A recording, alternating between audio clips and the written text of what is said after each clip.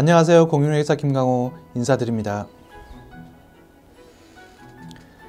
오늘은 FPA 혹은 FECA라고 부르는 해외 금융계좌 신고 규정에 대해서 집중적으로 살펴보겠습니다. 최근 몇 년간 우리 이민자들로 하여금 많은 근심을 하게 만든 규정이고요. 아직도 이 문제로 고민 고민하시는 분들이 많이 계시리라 생각합니다. 또한 이 문제로 어렵게 취득한 시민권, 영주권마저도 이미 포기했거나 심각하게 고려하시는 이민자들이 있을 정도니까 가볍게 여기지 마시기를 바랍니다. 자, 그럼 시작해 보겠습니다. 먼저 백그라운드를 한번 볼 필요가 있습니다. 미국 세법상의 모든 거주자는 해외에 개설된 금융계좌를 소유하고 있거나 해외 계좌에 서명권자로 이름이 올라 있다면 그 금융계좌를 미국 세무당국에 신고해야 하는 규정인데요. 사실 이 법은 1970년에 발효된 아주 오래된 법입니다. 그때부터 존재했었던 오래된 법과 규정이지만 지키지 않아도 어떤 벌금이나 처벌을 받지 않았기 때문에 유명무실한 법이었다 하겠습니다. 그런데 이를 악용해서 미국의 납세자들이 탈세의 목적으로 해외로 재산을 빼돌리고 해외의 재산과 소득을 숨기는 등 악용하는 사례들이 심심찮게 적발되면서 사회적 이슈가 되었습니다. 그러다가 그 유명한 스위스 비밀 계좌 정보가 미국 세무당국에 넘어가면서 빵 터졌습니다. 이때부터 연방 재무부와 IRS는 이미 존재하고 있었던 이 법을 강력하게 적용하기 시작했고요. 그때부터 해외 소득과 해외 금융 계좌에 대해서 효과적으로 세무 감사를 실시할 수 있는 토대를 마련했다 하겠습니다.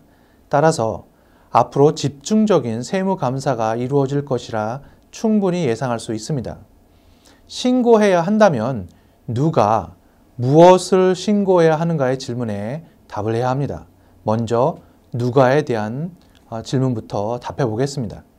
미국의 세법상 거주자에 해당하는 모든 사람들이 다 신고해야 합니다. 거주자는 시민권, 영주권자뿐만 아니라 미국에 183일 이상 체류한 사람들은 모두 거주자에 해당됩니다. 이때 많이 받는 질문이 서류 미비자 혹은 불법 체류자도 해외 금융계좌를 신고해야 하는가입니다. 서류 미비자도 세금 보고를 해야 하듯이 183일 이상 미국에 체류하였다면 거주자로서 해외 금융계좌도 신고해야 합니다. 그 다음은 무엇을 신고해야 하는가에 대해서 알아보겠습니다. 현금 가치가 있는 모든 금융계좌가 전부 다 신고 대상입니다.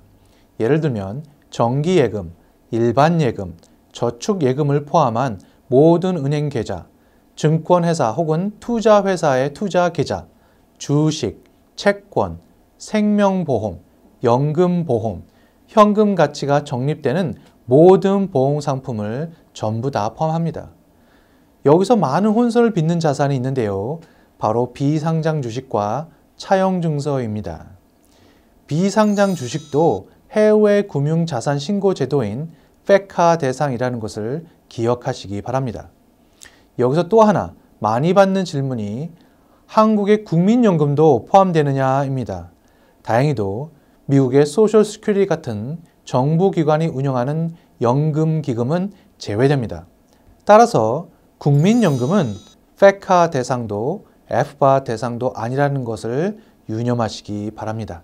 해외 금융계좌 혹은 자산신고의 의무에는 크게 두 종류가 있습니다. 앞서 말씀드린 FECA로 불리는 규정과 FBA라는 규정이 있습니다. 이 두 가지가 신고하는 정부기관도 다르고 신고 내용도 다르며 신고 기한도 다르기 때문에 주의해야 합니다. 먼저 FATCA, FECA에 대해서 살펴보면 양식 번호 8938이 바로 FECA 양식인데요. 매년 4월 15일까지 신고해야 하는 세금 보고 때 함께 신고하게 됩니다. 다시 말하면 FECA는 IRS에 신고하는 것이죠. 4월 15일까지. 그에 반해 FBA는 6월 30일까지 신고하면 되고 IRS가 아니라 연방 재무부에 신고하는데요. 재무부사나 BSA라는 기관이 운영하는 웹사이트에 가셔서 이 파일, 즉 전자 파일링만 할 수 있습니다. 해외 금융계좌 신고 F바는 앞서 설명드린 모든 금융계좌 잔고의 총합이 연중 한 번이라도 만 달러가 넘은 적이 있다면 각각의 계좌 밸런스가 얼마인지와 상관없이 그 모든 금융계좌를 다 신고하셔야 합니다. 바로 이 만불, 만불이 신고 기준이라는 것을 반드시 기억하셔야 합니다. 자, 여기서 잠깐 퀴즈를 몇 개 풀고 가겠습니다. 한국의 국민연금은 신고 대상이다, 아니다? 네, 그렇습니다. 신고 대상이 아닙니다. 그럼 생명보험, 연금보험, 저축성 보험 같은 보험 상품은 신고 대상이다, 아니다? 네, 신고 대상입니다. 다음, 일명 깡통 구자인 마이너스 통장은 신고 대상이다, 아니다? 의외로 역시 신고 대상이 맞습니다. 이제 F바 규정을 알게 되었으니 규정대로 신고하면 되죠. 그러나 문제는 역시 과거에 있습니다. 오래전부터 소유하고 있었던 금융자산을 어느 한순간부터 갑자기 신고하기가 어렵기 때문입니다. 세무감사의 위험 부담이 커지기 때문이죠. 미신고된 과거의 금융계좌를 어떤 방법으로든 해결을 하고 가실 필요가 있습니다. 이런 규정이 있다는 것을 몰랐기 때문에 이렇게 과거의 문제가 발생한 사람들을 위해서 IRS는 OBDP라는 자진신고제를 벌써 2008년부터 시행해 오고 있습니다.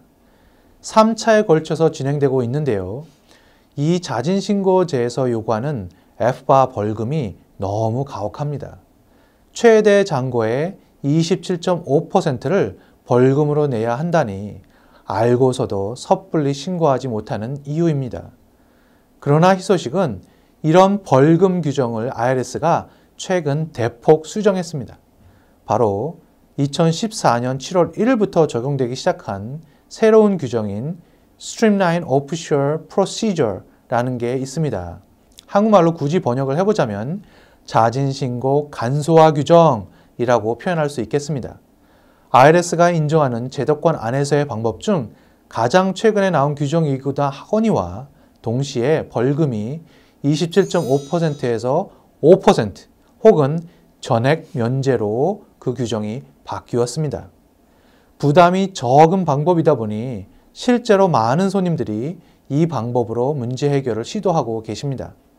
IRS가 이 규정을 2014년 여름에 발표한 이후 저도 한인들에게 이를 알리고자 많은 노력을 했었습니다. 각종 신문, 방송 등의 전문가 칼럼의 형태로 글도 올리고 인터뷰도 했었는데요. 벌금이 5% 아니면 전액 면제받고 해결할 수도 있는 방법이 있다는 것을 아시고 주변의 해외 금융계좌 전문가를 찾으셔서 본인이 거기에 해당되는지를 한번 상담을 받아보시기 바랍니다.